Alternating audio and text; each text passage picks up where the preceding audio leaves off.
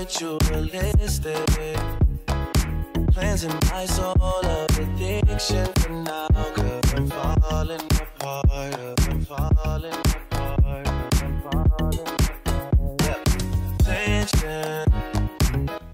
Guys, it's Joi here and welcome to Set. Today we're going to be doing a different video all about filming and getting your backdrop game on fleek.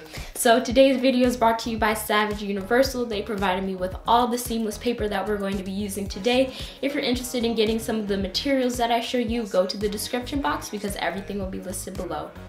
Today I'm going to be showing you how to have an awesome YouTube studio setup at home with only seven items. Before we get started, make sure you hit that subscribe button below and thumbs up this video. Leave a comment below telling me what brand of camera you have, whether it's iPhone, Canon, Sony, Panasonic, let me know.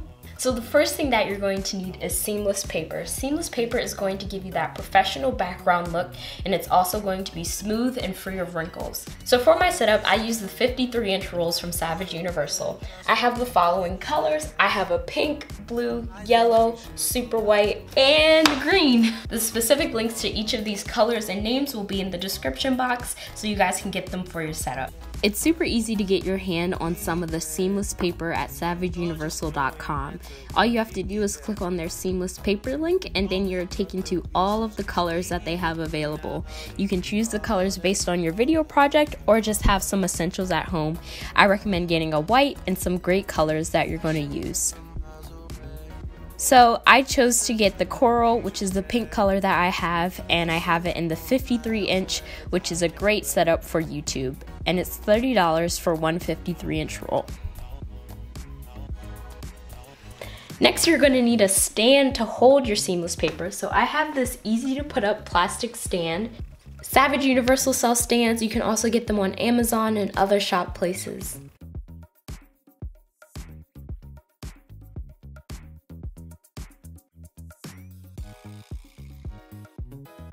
So another thing you're going to need is a stool. This stool is just a basic stool and it's just gonna be what you sit on to get your filming done. The next item is your lighting. So I like to use a ring light when I'm shooting with these backdrops because it helps illuminate the backdrop in my face. So this is what it looks like if I was going to film without my light. And this is what it looks like with it on. That's a huge difference. So when you go to film, you wanna adjust the camera to make sure the background is full and then you're ready to go. So the next item you're going to need is your camera. I use the Panasonic Lumix GH4. If you're interested in learning more about this camera, go to the description box below. And attached to my camera, I have my Rode microphone. And I set up my camera in front of my ring light, and then I have that pointing directly to my stool and backdrop area. My camera and my light are both on stands. I have a lighting stand that came with my camera, and I also have this tripod that goes with my camera. So I hope you guys enjoyed this video on how to upgrade your video backdrops using seamless paper. Thanks to Savage Universal, you can now get all of these colors in your seamless paper using the links in the description box below. So I thank you guys so much for watching and I'll talk to you guys next time. Bye!